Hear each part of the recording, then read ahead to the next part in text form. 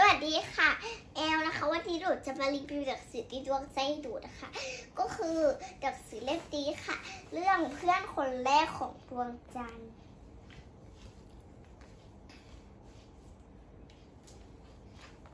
ดวงจันทร์เป็นเหมือนดังราชดี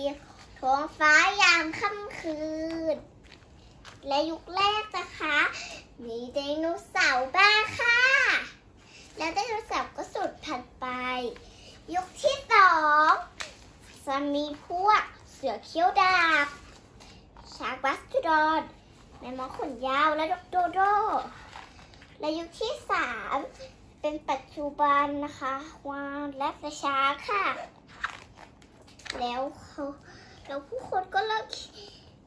คิดค้นก้านโกะกวงไปค่ะ แล้วในบนพื้นทะเลทรายซาฮา ร้อนและอุนะคะ ชาวอียิปต์โบราณก็กำลังสร้างพีระมิดกันอยู่ค่ะ แล้วดวงจันทร์ก็หมุนรอบโลก รอบแล้วรอบเล่า เพื่ออวดชมให้คนข้างล่างเห็น แล้วเขาก็เห็นว่า ผู้คนก็เริ่มคิดค้นการและเรือ ขับรถเป็นจักรยาน แล้วก็ลอยขึ้นไปหาดวงจันทร์ค่ะ แม้จะเป็นเครื่องบิน ก็ยังไม่ถึงดวงจันทร์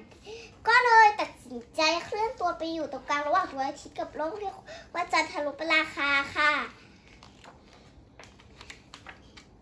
แต่ก็ยังไม่มีใครมาอยู่ดีดวงจันทร์ขณะที่ดวงจันทร์กำลังท้อใจอยู่ดัน ผู้คนเขาก็เริ่มคิดค้นแล้วออกแบบจรวดนะคะ แล้วดวงจันทร์ก็มีความหวังขึ้นไปอีกครั้งเมื่อมีลิงวอชิงแปซีตัวนึงนะคะเขาพุ่งตรงมาที่ดวงจันทร์เลยค่ะ แต่น่าเสียดายที่เจ้าลิงต้องกลับสู่โลกทั้งทั้งๆที่อยากมาไปถึงดวงจันทร์เลย แต่วันดึกแต่อากาศที่ร้อนอบอ้าวของเดือนมกราคม ก็มีจังหวัดรับใหญ่รับดึก ตั้งตะการอยู่กลางแท่นปล่อย ตัวแล้วผู้คนก็เริ่มนับถอยหลังสิบเก้าแปดเจ็ดหกห้าสี่สามสองหนึ่งพุ่ง แล้วจรวดก็ค่อยๆหยุดร่วงไปตามลำดับแต่จรวดที่พุ่งว่างไปทั้งสองลำยังคงพุ่งหน้าสู่ดวงจันทร์ค่ะยานอวกาศลำดึงโคจรอยู่ห่างๆ ส่วนอีกลำดึงขยับเข้ามาใกล้ใกล้ขึ้นเรื่อยๆจนในที่สุด ส่วนขาของยานก็แตะลงกับพื้นยินดีต้อนรับจ้ะดวงจันทร์ทักทายเราพวกหนุ่มๆที่ออกมาจากยานดวงจันทร์ได้มอบของขวัญให้เก็บพวกเขาเป็นเป็นก้อนหินและฝุ่นผงของดวงจันทร์ เอานี่กลับไปที่โลกด้วยนะ ดวงจันทร์กล่าว มนุษย์เอง เขาก็ให้ของขวัญตอบแทนกับดวงจันทร์ก็เป็นแผ่นป้าย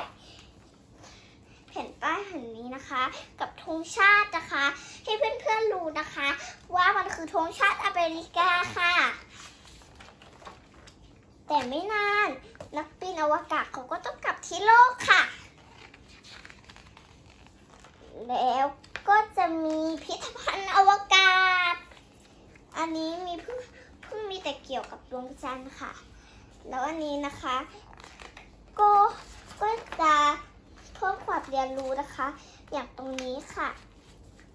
ก็จะมีเกี่ยวกับอพอลโล 11 ด้วยนะคะ แล้วนี่นะคะ สแกนได้ทั้งหน้าทั้งหลังเลยค่ะ ตรงนี้ กับตรงนี้ หน้าสแกน ฟังเสียงนับถอยหลังตอนที่ปล่อยยานค่ะ ส่วนหลังนะคะ ฟังเสียงดิวอัสตอพูด ประโยคแรก ขณะที่อยู่บนดวงจันทร์ค่ะ ขอบคุณค่ะ